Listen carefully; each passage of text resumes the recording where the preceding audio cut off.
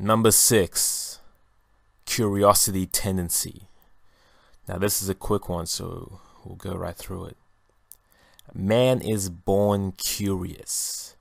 Curiosity is the one innate quality of humans that differentiates us from the rest of the animals in the animal kingdom.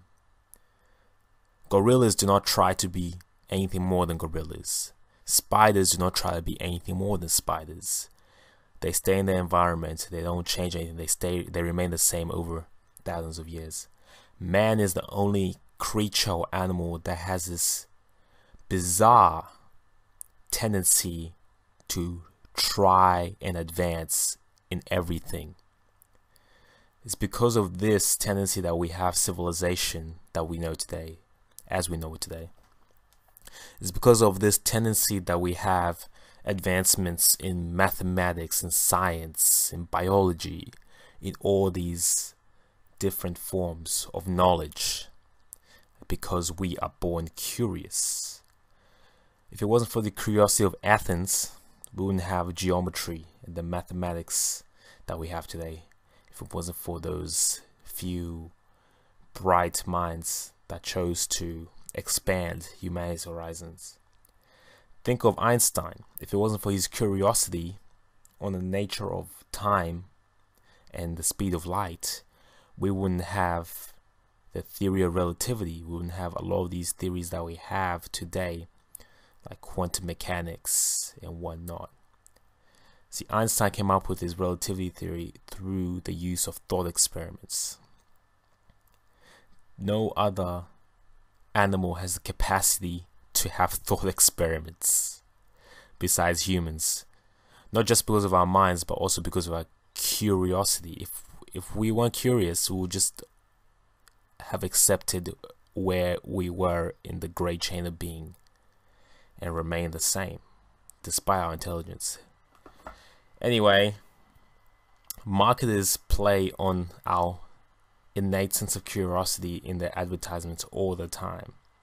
I'm sure you've seen the ad where some guy tells you that he got shredded, got a nice ripped six pack using his magic red drink. And you can find out what his magic red drink is as long as you click on the link and go to his website and buy his product. Or perhaps someone's got the secret to making lots of money. He's got the secret, he's found the secret. And you can find this out too by clicking the link and joining his email list and he will share it with you. See, these marketers use this because they know you click on it. They know they will arouse your curiosity because it's in your DNA, it's in your blood. You are meant to be curious. So be careful of this. If someone's offering you something but not giving you all the terms or all the relevant knowledge, perhaps they're playing on your curiosity. And you can also use this too when you're advertising some of your stuff, using words like secret or not describing everything in the title, keeping your title open for interpretation will arouse people's curiosity and make them click on your stuff. So that's just a quick one, guys. I hope you enjoyed that. Peace. Alright guys, if you haven't already, make sure you check out the new Personal Development Global group on Facebook. Link is in the description. Heaps of good shit for ya.